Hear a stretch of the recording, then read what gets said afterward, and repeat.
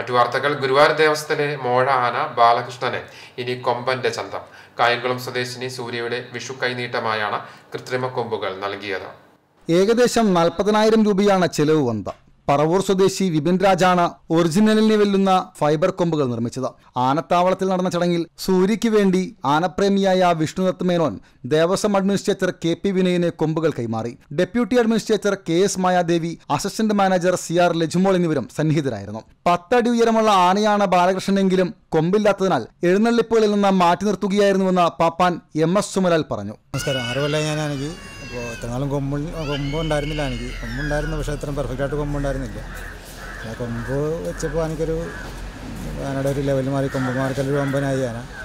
പിന്നെ കൊമ്പില്ലാത്തൊരു കൊണ്ട് പലയിടത്തും പരിഗണന കിട്ടിയിരുന്നില്ല എനിക്ക് കൊമ്പ് വെച്ചപ്പോഴും ചില സ്ഥലത്തും പൂരങ്ങൾക്കൊക്കെ വലിയ വലിയ പൂരങ്ങൾക്കൊക്കെ അവർ മൂഴാനെന്ന് വലിയ വലിയ മാറ്റി വരുത്തുന്ന ഒരു സാഹചര്യം ഉണ്ടായിട്ടുണ്ട്.